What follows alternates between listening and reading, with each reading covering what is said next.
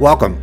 This episode covers the development of my patio's architectural drawings based on the requirements and design of my patio model shown in part 1 of my patio series.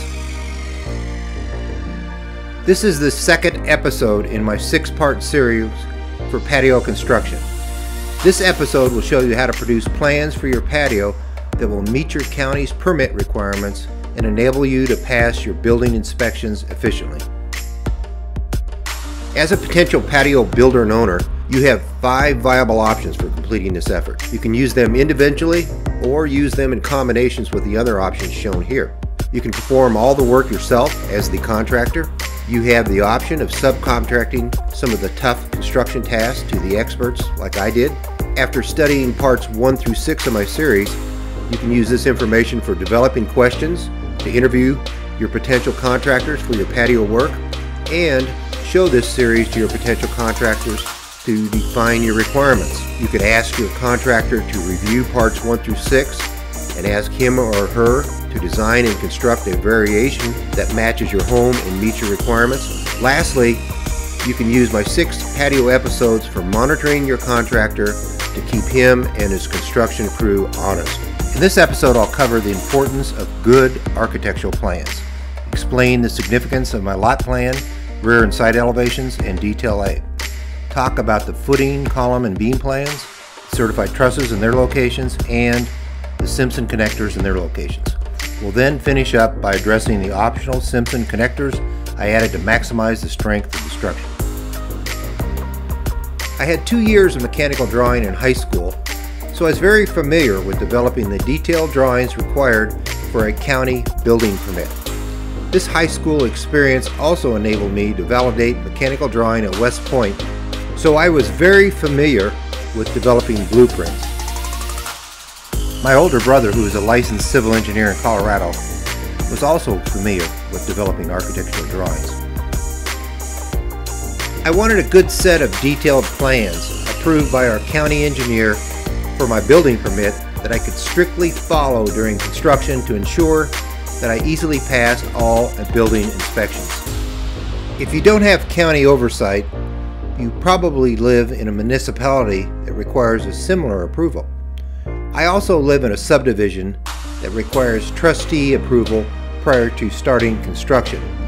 So I obtained my county approval of the plans prior to submitting them to my subdivision trustees to make it very difficult for them to disapprove the plans. These plans also ensured that I didn't have to do any rework or purchase any additional construction material. During construction, I strictly followed my blueprints and easily passed all of my building inspections. Consequently, I recommend that you consider the same approach.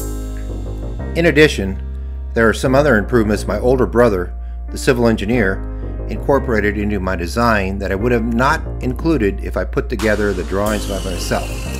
I will cover these as we progress through this series of patio episodes. Most counties require lot plans for residential building permits. Shown in red is the addition of my patio. I understand that residential structures have limits as to the percentage of their lots that they can consume. Consequently, this plan makes it very easy for the county to determine if you're exceeding this percentage. Most of you are most likely very familiar with front, rear, and side elevations of a home. Nevertheless, I would like to point out some important points of these elevations of my patio. This is the uh, rear elevation of my home. It shows exactly how the patio design impacts the existing structure of the house. It also includes the rooftop of my existing home, which was not included in my Part 1 model. Most importantly, it shows the overall design of the patio to include its roof and arch lines here. In addition, it shows the following key features of my patio design. 6x6 treated columns with decorative aluminum wraps which match the columns on the front of my house. Footings which are also included in several other drawings. Additional concrete for the enlarged portion of the patio. The front arch. Dotted lines outlining the scissor trusses with 712 pitches on the top and 3.5 12 on the bottom. This beam consisting of three 2x10s and half inch plywood, a Cricket Valley roof line which I will build in Part 4's initial construction and framing, a vent above the center of the large arch, and the removal of this window which the county building inspector later allowed me to cut in half rather than install this brand new window. This is the side elevation of the patio structure showing its changes to the existing design of the house from a side perspective. It shows these four columns, uh, their aluminum wraps, and several Simpson ties.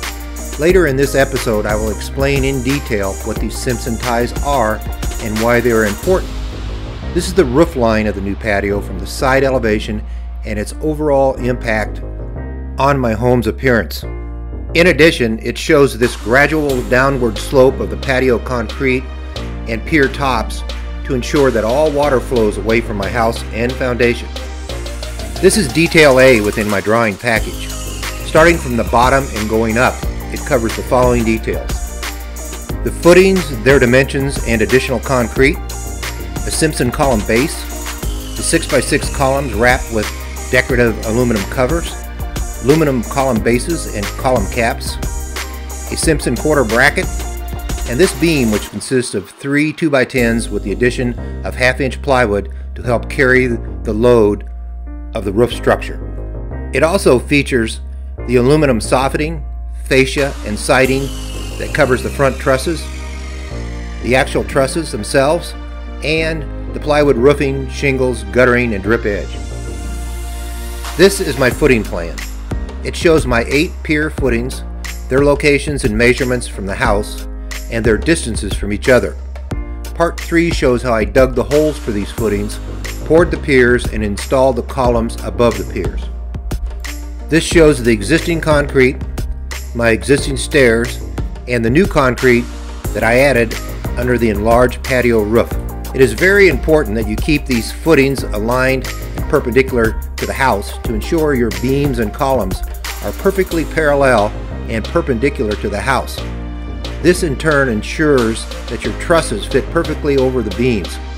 Distances A and B have to be exactly the same and distances C and D must be the same. Very similar to the footing plan is the column and beam plan.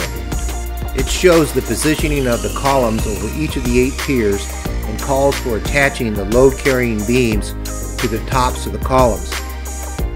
The plan illustrates how I bolted the patio's left beam to this wall of the house with 5 8 inch lag bolts. It also shows that I connected the right beam to the house with a Simpson post cap and Simpson angle attached to a 4x6 vertical post that I embedded within the wall of the kitchen in the back of the house. In addition, the plan specifies that I built all of the beams with three 2x10s and 1 half inch plywood so their widths were identical to the 6x6 columns. It also shows that the columns consist of treated 6x6 posts with Simpson column bases embedded in the tops of the concrete piers. My Part 3 pier and column installation episode shows how I did this. This is the first of three construction areas that I subcontracted out. I purchased my trusses from a reputable truss company that delivered them to my driveway in one load. This was the first page of my truss plan which I included within my drawing package to the county for my building permit. As required, the truss designs were developed and certified by a registered engineer who was licensed in my state. I have civil and aerospace engineering degrees, but I'm not licensed in the state where I currently live. Nonetheless, I recommend that you similarly buy your trusses from a truss company with a licensed engineer on their staff. Please note that the truss documents, which I included within my drawing package for my building permit, were a lot more detailed than this. They included all the truss load specifications, dimensions, and other technical informations. I paid approximately $1,900 for these trusses, which included nine large and two small scissor trusses, and one large and one small gable truss. Bottom line is, this proved to be a very good investment. The small TO1 GE gable truss and the front side of the large TO2 GE gable truss are located here, and the two small TO1 scissor trusses are installed here. The rear side of the TO2 GE gable truss on the front of the patio is shown here. These are four of the nine large TO2 scissor trusses. Prior to starting this project, I never heard of Simpson connectors. Earlier in this episode, I mentioned that I worked on a frame carpentry crew during one of my summer breaks from school. At that time, we did not use them, and I don't think Simpson connectors existed or were well known. If I designed this patio by myself, without my brother's expertise, I would have erroneously failed to include these valuable connectors. Consequently, the strength and integrity of the structure would have been significantly degraded. I most likely would have done a lot of rework and encountered some problems with my building permit. With this said, if you are serious about building a similar structure, I strongly recommend that you review the SimpsonStrongTie.com website. It provides numerous building connector improvements that significantly improve the strength of structures. If you live in a potential earthquake, hurricane, tornado, or high wind area, this website is a must. Simpson's seismic ties and straps are critical for these areas. The five types of Simpson connectors that I used are shown as follows. This is the Simpson column base that I bolted to all of my columns and submerged within the top sections of my eight concrete piers. And these are the Simpson post caps that connected the tops of my columns to the beams. This is the Simpson header hanger that I used to connect the right patio beam to the 4x6 column that I embedded in the back wall of my kitchen. These are the rigid corner brackets that I use to reinforce the attachments of all the columns to their beams. This is a Simpson post cap. As an option, I added these Simpson angle and T-braces that I had to special order. When the building inspector saw these, he commented that my structure was overbuilt and the patio was more likely to withstand a tornado while our house perished. Consequently, I met my goal of designing and building an incredibly durable structure. This concludes the architectural drawing portion of this project. At this time, I'm moving on to part 3 of my patio series, showing how I installed my piers and columns. You're more than welcome to follow. In addition, if you have a great project that you want to post on my YouTube channel, email me some pictures and a brief description of it. If it qualifies for the Let's Fix It Right standards to help others, I'll interview you over the phone as a guest do-it-yourselfer, produce a high-quality video, and post it on my Let's Fix It Right channel. For the year following this posting, I'll share 50% of the potential YouTube benefits with you. If you have any subject matter requests or recommendations, please contact me. All of this said, I recommend that you subscribe to my channel, follow my projects, and save a bundle of money doing it.